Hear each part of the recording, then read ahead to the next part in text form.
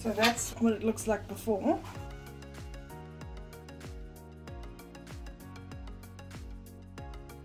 So I thought today I would try the Sorry Girls hack for tomato sauce on brass.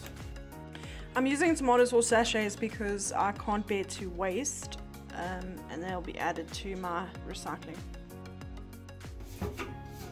I did not think this was going to work, not at all. This is the colour it was.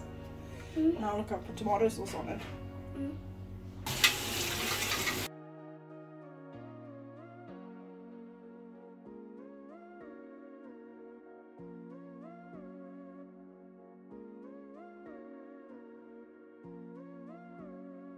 That is amazing.